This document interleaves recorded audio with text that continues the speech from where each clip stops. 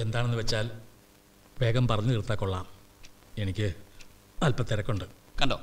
ഞാൻ അപ്പോഴേ പറഞ്ഞതാ ഒരു അപ്പോയിന്റ്മെന്റ് ഫിക്സ് ചെയ്തിട്ട് മേനോൻ സാറിന് വന്ന് കണ്ടാൽ മതി അപ്പൊ സമ്മതിക്കുകയല്ല ഉടനെ വന്ന് കാണും. ഓ മേനോൻ സാറും നമ്മളും തമ്മിൽ എന്തോന്ന് അപ്പോയിന്റ്മെന്റ് കാര്യം നമ്മളൊക്കെ കാണുകയും സഹകരിക്കുകയും ചെയ്തിട്ട് വർഷം പത്ത് പതിനഞ്ചായി. എന്ന് വെച്ച് അങ്ങനെയൊക്കെ അങ്ങ് തൂത്താ പോകുന്ന ബന്ധമൊക്കെയാണോ നമ്മൾ തമ്മിൽ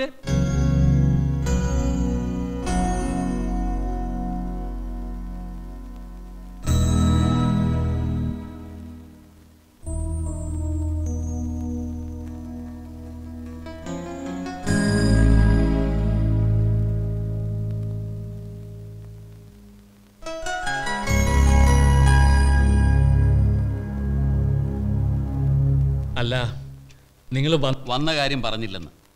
രണ്ട് ദിവസം കഴിഞ്ഞാൽ ഞങ്ങൾ ഒരു ഫോറിൻ ടൂർ പോവുകയാണ്. നമ്മുടെ വ്യവസായ മന്ത്രിയോടൊപ്പം. ഞാനിപ്പോൾ എക്സ് എം പി ആണ് പ്രതിപക്ഷത്താണ്. എന്റെയും മന്ത്രിയുടെയും രാഷ്ട്രീയവും രണ്ടാണ്. എന്നാലും ഞങ്ങളുടെയൊക്കെ ലക്ഷ്യം ഒന്നായതുകൊണ്ട് ഞാനൊന്ന് സമ്മതിച്ചു. മിസ്റ്റർ ഐസക് ഇപ്പോഴും നിങ്ങൾ വന്ന കാര്യം പറഞ്ഞില്ല. ശരിയാ. മേനോൻ സാറിനോട് ഒരു മുഖവുരയുടെ ആവശ്യമുണ്ടോ? പ്രശ്നം നമ്മുടെ സച്ചിദാനന്ദന്റെ കള്ളുകച്ചവടം തന്നെ. ഇയാൾക്ക് മാത്രമല്ല എനിക്കും അതിൽ ഫിനാൻഷ്യൽ ഇൻട്രസ്റ്റ് ഉണ്ടല്ലോ.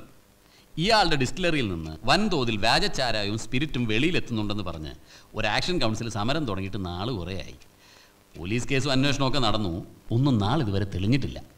അപ്പം നമ്മുടെ കഷ്ടകാലത്തിന് ആ ആക്ഷൻ കൗൺസിൽ നേതാവ് കയറി അങ്ങ് തൂങ്ങിച്ചെത്തു. അതെന്തോ കുടുംബ പ്രശ്നം ആ.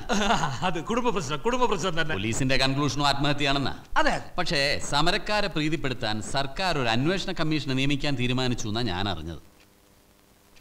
ഐസക് സാറിന്റെ സോഴ്സിലൂടെ ഞങ്ങൾ അറിഞ്ഞത് ആ കമ്മീഷൻ സാറാണെന്നാണ്. ഞങ്ങൾ യൂറോപ്യൻ ട്രിപ്പ് കഴിഞ്ഞു വരുമ്പോഴേക്കും കമ്മീഷന്റെ പ്രവർത്തനങ്ങൾ ആരംഭിച്ചിരിക്കും. സാർ ഞങ്ങളെ ഒന്ന് സഹായിക്കണം. I am sure you will help us out no ഇക്കാര്യത്തിൽ ഒരു സഹകരണവും നിങ്ങൾ എന്നിൽ നിന്ന് പ്രതീക്ഷിക്കേണ്ട. നമുക്ക് തമ്മിൽ വീണ്ടും അടുക്കാൻ ദൈവം തന്ന അവസരമായിട്ടാണ് ഞാൻ ഇതിനെ കാണുന്നത്. സ്റ്റോപ്പ് ഇറ്റ് ഐസാക്ക് മനസാക്ഷിയെ വഞ്ചിച്ച് പ്രവർത്തിക്കാൻ ഇനി എന്നെ കിട്ടില്ല. സാറേ! വേണ്ട വേണ്ട. സാറിന്റെ മനസമാധാനം കളഞ്ഞിട്ട് നമുക്ക് ഒന്നും വേണ്ട. സാർ ഇന്ന് സർവസമ്മതനാണ്.